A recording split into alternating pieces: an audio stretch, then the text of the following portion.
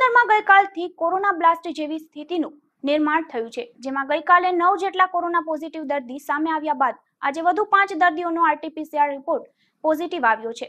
તો પાંચ દર્દીઓનો રેપિડ ટેસ્ટ પણ પોઝિટિવ આવ્યો છે. પોરબંદર જિલ્લામાં કોરોનાની ત્રીજી લહેરની શરૂઆત થઈ ગઈ છે.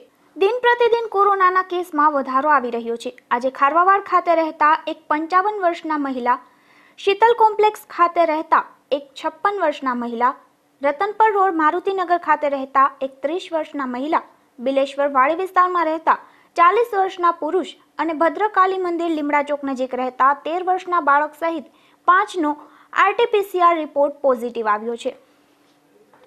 તો વધુ પ્રાપ્ત માહિતી મુજબ અન્ય પાંચ લોકોનો રેપિડ ટેસ્ટ પોઝિટિવ આવ્યો છે. જ્યારે તેમનો ફરીથી આરટીપીસીઆર ટેસ્ટ કરવામાં આવશે.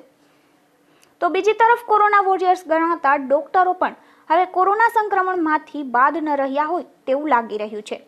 બાઉસીજી હોસ્પિટલમાં આરએમઓ તરીકે ફરજ બજાવતા ડોક્ટર વિપુલ મોઢા અને મેડિકલ ઓફિસર ડોક્ટર ત્રિવેદીનો પણ કોરોના રેપિડ ટેસ્ટ પોઝિટિવ આવ્યો છે. જેને લઈને આરોગ્ય વિભાગ અને હોસ્પિટલનું તંત્ર પણ સતર્ક બની ગયું છે. વિપુલ રાઠોડ સાથે અશોક થાનકી, ગુજરાત ન્યૂઝ, પોરબંદર.